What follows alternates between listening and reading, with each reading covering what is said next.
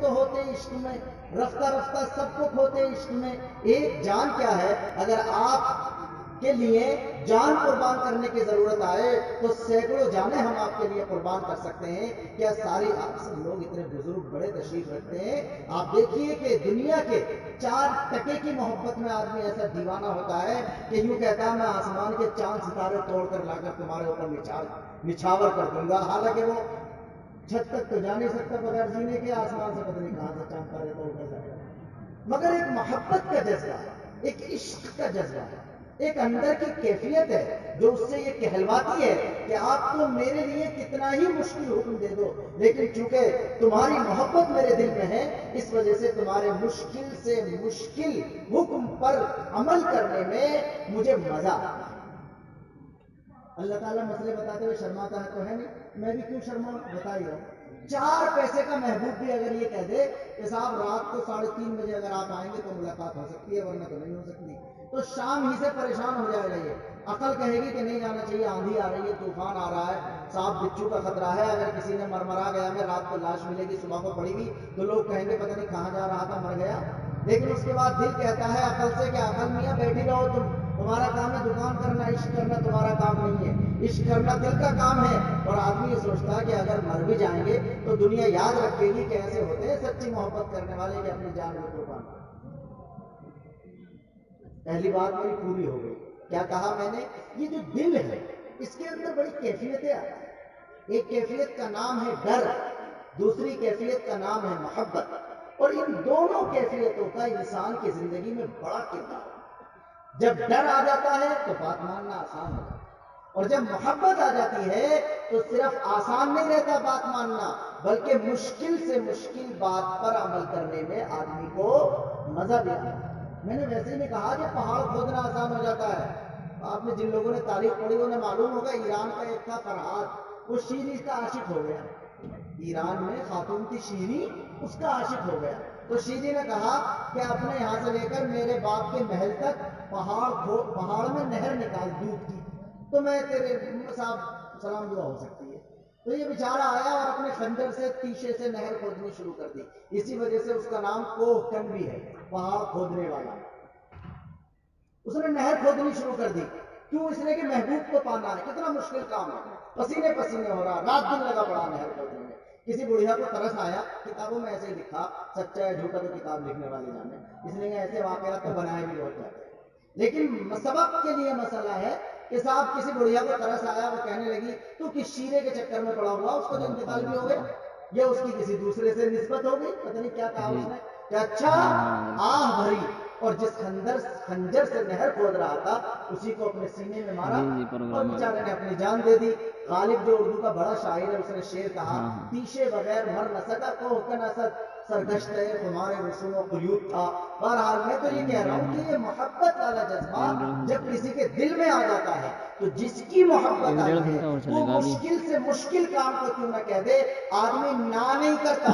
اس لیے کہ آدمی ساری چیزوں میں فیل ہونا منظور کر لے گا۔ محبت میں فیل ہونا منظور نہیں کرتا۔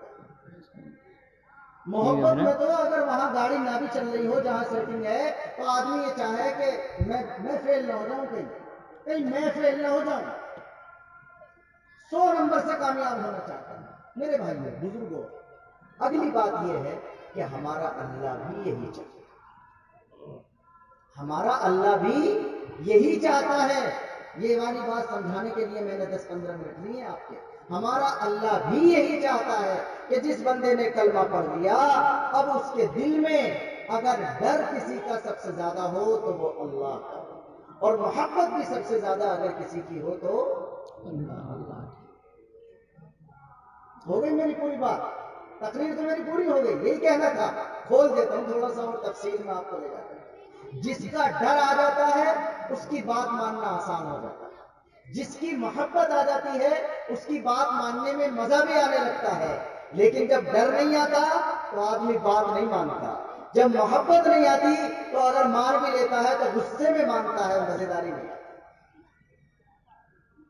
اللہ ہمارا یہی چاہتا ہے کہ مسلمان بندے کے دل میں ڈر اگر کسی کا سب سے زیادہ ہو تو اللہ کا، اور محبت میں سب سے زیادہ اگر کسی کی ہو تو اللہ کی۔ جب ڈر آ جائے گا، نماز پڑھے گا۔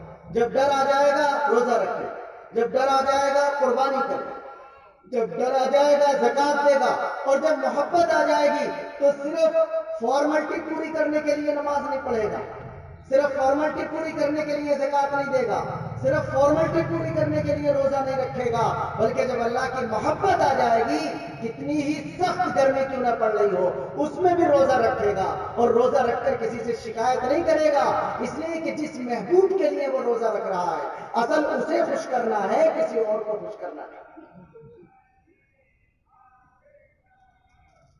اگر دنیا کے چار پیسے کے محبوب کے کہنے سے پہاڑ میں نہر کھودی جا سکتی ہے، اپنی جان کو جوخم میں ڈالا جا سکتا ہے، تو پھر اللہ جو ہمارا سب سے اعلیٰ درجے کا محبوب ہے، اس کے کہنے پر نماز نہیں پڑھی جا سکتی۔ کیا اس کے کہنے پر روزے نہیں رکھے جا سکتے؟ کیا اس کے کہنے پر حج نہیں کیا جا سکتا؟ کیا جائے گا؟ اگر اللہ کے حکموں پر عمل نہیں ہو رہا، غور سے سننا میرے جملے کو۔ اگر اللہ کے حکم پر عمل نہیں کیا جا رہا اس کا مطلب یہ ہے اللہ کا ڈر دل میں نہیں ہے۔ اور اگر اللہ کے حکم پر عمل کرنے میں مزہ نہیں آ رہا، تو اس کا مطلب یہ ہے کہ اللہ سے محبت نہیں ہے۔ اللہ نے یہ ہمیں مشورہ نہیں دیا ہے کہ میرا ہی ڈر رکھنا اور میری محبت رکھنا صرف ایڈوائزنگ نہیں ہے، مشورہ ہو، یہ حکم ہے اللہ کا۔ اور جب ہم اللہ کے دربار میں پہنچیں گے تو اللہ چیک کرے گا اس بندے کے دل کو کہ کہ تیرے دل میں میرا ڈر تھا یا ایرے غیرے نتو خیرے سے تو ڈرتا تھا؟ تیرے دل میں میری محبت تھی سب سے زیادہ یا دنیا کے دوسرے لوگوں کی محبت پر تو جان چڑکتا تھا؟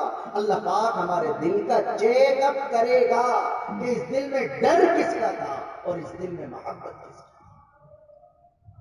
میرا اللہ بھی یہی چاہتا ہے کہ ڈر اگر سب سے زیادہ کسی کا ہو تو اللہ کا اور محبت بھی اگر سب سے زیادہ کسی کی ہو تو اللہ کا تیسری بات ایسا ہو کیوں؟ ایسا ہو کیوں کہ ڈر سب سے زیادہ اللہ کا ہو؟ اور ہی سے سنتے رہے نا دیکھو ڈرتا ہے آدمی طاقت کی وجہ سے۔ کس سے ڈرتا؟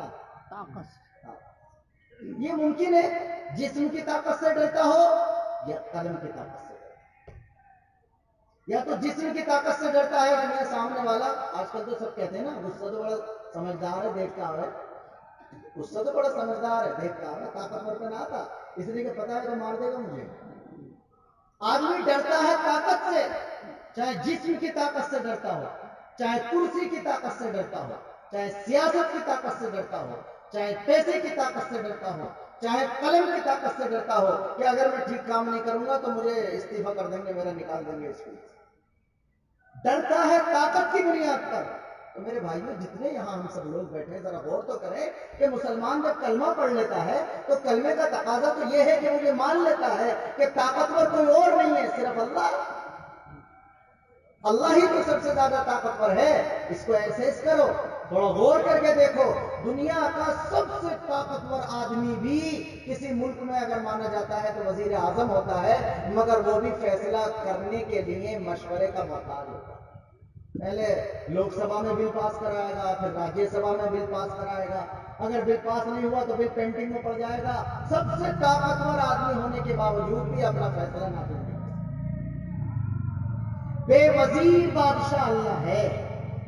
بے مشیر بادشاہ اللہ ہے۔ وہ بڑے سے بڑے فیصلے کر لیتا ہے۔ اسے کسی سے مشورے لینے کی ضرورت پیش نہیں سن رہے ہو، کس سے ڈرا جائے؟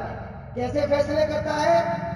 کیسے خطرناک؟ یہ کہتا ہے، ما خلق السماوات والارض ولا خلق انفسهم اللہ قرآن میں کہتا میں کیسے دل نکال کر رکھوں آپ کے سامنے؟ اپنی طاقت بتاتا ہے۔ میں نے آسمان کو بنایا تو کسی انجینئر سے نقشہ پاس نہیں کرایا۔ میں نے زمین کو بنایا تو کسی سے اجازت لے کر نقشہ پاس نہیں کرایا تھا۔ اور انسان آج تو اتراتا ہے اپنی طاقت پر نشہ ہے تجھے۔ میں نے تجھے بنایا، تو تجھ سے کوئی مشورہ نہیں لیا۔ تجھے کتنے فٹ کا بنانا ہے؟ میری مرضی۔ تجھے ناک نقشہ کیسا دینا ہے؟ میری مرضی۔ تجھے کون سے خاندان میں پیدا کرنا ہے؟ میری مرضی۔ تجھے کس برادری میں پیدا کرنا ہے؟ میری مرضی. تجھے کس ٹائم پیدا کرنا ہے؟ میری مرضی. آج آدمی اپنی مرضی چلاتا ہے. اگر اتنے ہی وہ بڑی مرضی والا ہے، تو اپنی مرضی سے اپنی برادری منتخب کر لیتا، اپنی مرضی سے اپنا خاندان چن لیتا، جو برادری پر اتراتا ہو، جو خاندان پر اتراتا ہو، جو حسن پر اتراتا ہو، جو اپنے